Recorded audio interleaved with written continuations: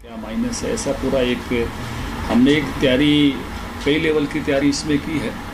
हमने उन स्थानों पर अपनी बूथ समितियाँ बनाई हैं इलेक्शन इंचार्ज लगाए हैं, हमने अपने फुल टाइम देने वाले विस्तारक लगाए हैं, बड़े नेताओं का टूर रखा है चाय पानी हो रहे हैं मंत्रियों के सीरियस नेताओं के।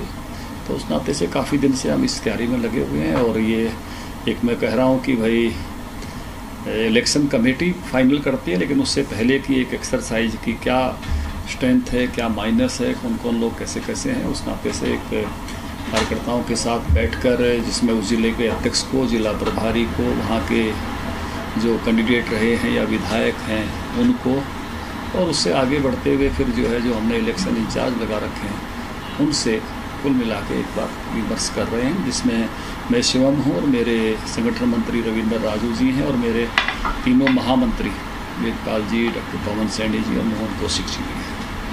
तो एक्सरसाइज आज सुबह से चली हुई है शाम तक चलेगी तो निकाय चुनाव में किन मुद्दों को लेकर के जा रहे हैं आप लोग? सामान्यतः जहाँ निकाय चुनाव में स्थानीय मुद्दे होते हैं वहाँ ट्रिपल इंजन सरकार का मुद्दा भी हम उठाएँगे क्योंकि केंद्र में मोदी जी और आज तक नीचे तक के विषयों में वो इन्वॉल्व होते हैं, किस प्रकार से स्वच्छ शहर बने क्वालिटी ऑफ़ लिविंग कैसे वहाँ अच्छी आ जाए। और इसी तरह से राज्य सरकार, मनोहर जी की यहाँ पर सरकार है इसी तरह से नीचे भी सरकार जो है, हमने ही अपने पहले कार्यकाल में डायरेक्ट इलेक्शन किया था चेयरमैन का।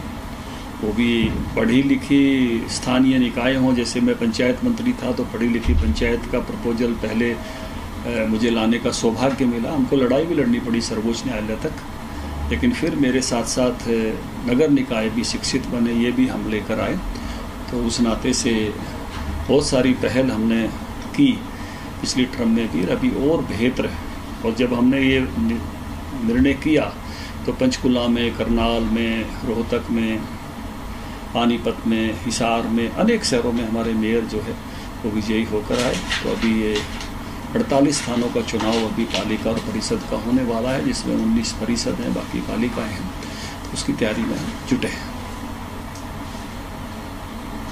सिंबल को लेकर सब क्या कुछ ऐसा है कि अभी तक जो एक फाइनल निर्णय तो हमारी इलेक्शन कमेटी करती है लेकिन अभी तक जो चर्चा में विषय है कि परिषद सारी की सारी हम सिंबल पर लड़ेंगे। और उनमें पार्षद सिंबल पर लड़े, ये निर्णय जिला इकाइयों पर छोड़ेंगे। और पालिका में कौन से सिंबल पर लड़े, नहीं लड़े, ये निर्णय भी हम जिला इकाई पर छोड़ेंगे। जो हमारी जिला इकाइयाँ बहुत सारी हैं जो सिंबल पर लड़ना चाहती हैं। कुछ स्थानों पर बहुत छोटी पालिका हैं, वहाँ उनका ये भी मत आ रहा है कि यहाँ हम उस नाते से हमको अनुमति दी जाए। तो जैसी भी जिला इकाई का निर्णय होगा, पालिका और पार्षदों को लेकर जिला इकाई पर जाएँगे परिषद के बारे में स्पष्ट निर्णय है कि उसमें हम सब सिंबल पर जाएँगे जाएँगे। अगर पालिकाएँ सिंबल चाहती हैं तो सिंबल देंगे। इसी तरह से पालिका में पार्षद और नगर परिषद में भी पार्षद ये निर्णय ज़िले पर छोड़ेंगे। जिला अगर कहता है कि सिंबल देना उचित है तो सिंबल देंगे। अगर वो कहते हैं कि हमको बिना सिंबल जाना रणनीति की दृष्टि से अच्छा है तो निर्णय जिला इकाई पर छोड़ेंगे। सर आपकी अभी आप सरकार में गठबंधन में जब तो अड़तालीस जगह पर निकाय के जो चुनाव होने हैं उसमें सहयोगी जो दल है आपका तो सरकार में गठबंधन में आते हैं उनके साथ का सीटों का या जगह किस पे कहाँ चुनाव कौन लड़ेंगे तय कर दिया गया अभी हमारी आपस में इस विषय पर कोई चर्चा नहीं हुई है। एक आध बार टेलीफोन पर बात हुई लेकिन अभी कोई बैठकर इस विषय पर निर्णय नहीं हुआ सर इस बार आम आदमी पार्टी जो है वो भी अपने आप को विकल्प के तौर पर हरियाणा में इंट्रोड्यूस कर रही है। देखिए चुनाव कांग्रेस पार्टी भी लड़ेगी। चुनाव मुझे लगता है कि इन लोग भी लड़ेगी आप भी लड़ेगी सब लड़ेंगे उसमें कौन सी उनमें क्या खास बात है? सारी पार्टियाँ चुनाव लड़ेंगी वो भी लड़ेंगी। सर विद साहब ने कल एक बयान दिया, चंडीगढ़ और वेस्ट बंगाल का इश्यूज़ चल रहा है। उन्होंने कहा कि अब चूँकि पंजाब सरकार ने आते ही नई नई सरकार ने इस मुद्दे को उठाया और 2016 के निर्णय का भी जो पालना है, वो नहीं हुई कई बार उनको इतना देने के बाद भी तो अब कंटेम्प्ट के लिए कहीं ना कहीं आगे जाया जाएगा। इसको लेकर सरकार तैयारी कर रही है। तो पंजाब सरकार पर कंटेम्प्ट को लेकर देखिए निश्चित रूप से एस हरियाणा के लिए दोनों तरह से बहुत महत्वपूर्ण है। पहला महत्वपूर्ण है कि 19 लाख एकड़ फीट हमारे हिस्से का पानी मिलना चाहिए।